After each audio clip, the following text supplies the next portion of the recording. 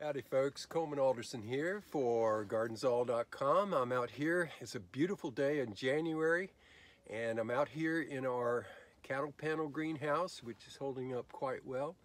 Very pleased that we decided to go ahead and uh, make ourselves a greenhouse. It is done very well and uh, we're just pleased as punch how we're able to grow so many different things and overwinter so many different things such as, here's our longevity spinach. I think this is a cutting that was taken from last year and it is technically a tropical, but we have converted it, converted, say that word, converted it over into a semi-perennial with our help because when springtime rolls around, we'll have this planted probably in a larger pot and we'll continue on harvesting throughout the winter and into the summer and into the year following and the year following. So hey, it's a perennial, right? We're just helping it along. We like this. Uh, check it out on our website. Uh, look up Gynura procumbens or longevity spinach in your in the search box and you'll find uh, an article that we worked up on it. it. Tells you a lot about it and why we like it so much. All right, today the topic at hand is planting in eggshells. Heard of walking on eggshells? Well, we have a little twist on that, and I'm sure you guys have probably heard or seen something about that. And the object is to recycle and make use of objects and things that are around the house that perhaps might be useful rather than going out and buying little individual, uh, you know, those little planter, forget what you call them, like grids that you plant in. And, you know, you're saving a good bit. What we're doing here is we've these in half, of course emptied out the eggs, we cut them in half, and I'm inserting soil into each of the um, into each of these little guys.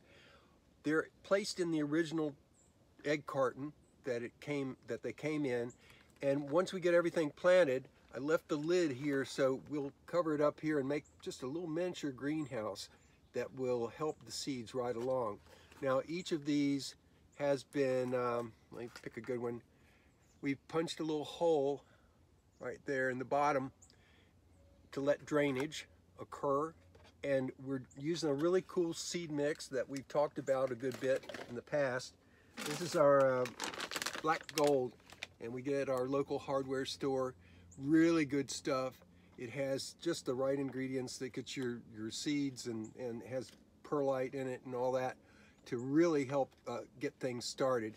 In combination with, we're using, um, I don't know whether you can see it or not, it's back here, it's a, um, it's a warming mat uh, that we use and it's very low voltage but it keeps the temperature below on a tray like a tray of, of seed startups.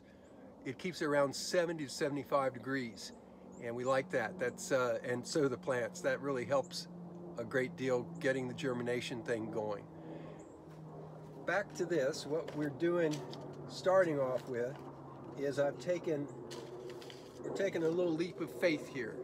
And recently we've done some studies and research and really are fascinated with the prospect of planting more perennials, more perennials that will carry on through the year, similar to our, um, our uh, you know, the sort of do-it-yourself perennial here with the, with the longevity spinach, Gynura procumbens, well, we're going to try planting out in the garden. And one of the things we're going to try out, and I've done a bit of research that I looked for the hardiest artichokes I could find for our zone 7A and came up with Violetto Globe artichokes. And supposedly these are a, a Italian type and they should, uh, they're saying they should do well. They don't give an exact zone, but we'll plant them out. You got to start them early around here. So here we are about mid-January. We're going to set these into our little eggshells. Only going to do six of these starting off. About three seeds per shell. Water them in real good and get them uh, incubating, I hope, and growing. Hopefully no little chicks pop out of there, right?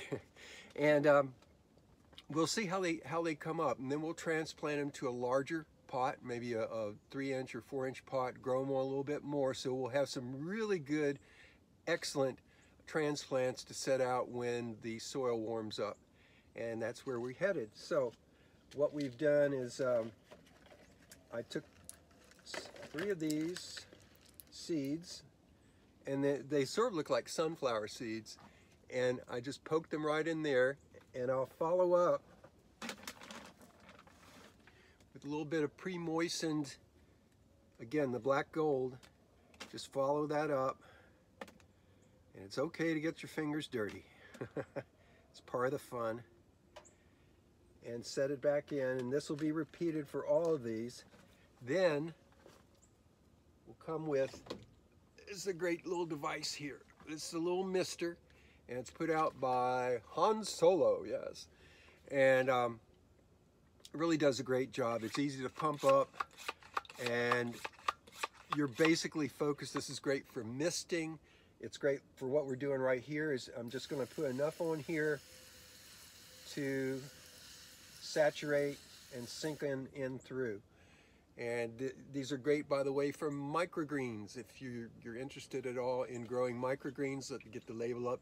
The microgreens, um, we've been growing these in this greenhouse, so we've kind of flipped over from where we were doing it inside in a small indoor four shelf greenhouse. Now we flipped over and we're, we're growing all our microgreens out here because, hey, right now it's about 45 degrees outside and it is 67 right now. When I first came in, it was 84, but we've opened up the door and the window at either end, and that's how we moderate the, uh, the temperature just by opening and closing door or window at either end. Well, we will carry on and I appreciate your dropping in to visit. If you have any comments or questions about growing in eggshells or any experience you'd like to share, we'd love to hear from you on our Facebook page or you can uh, just send us an email. We have a little alert bell at the uh, on the um, what do you call it YouTube yeah YouTube on the YouTube up there where you see us posted Click on that for alerts and you can of course subscribe and uh, join the fun and uh, subscribe to our YouTube channel. We'd love to see you up there. So this is Coleman Alderson for GardensAll.com. I hope you guys are safe and well and having a wonderful winter. And we look forward to sharing more with you as we progress into late winter and early spring. So you all take care. So long.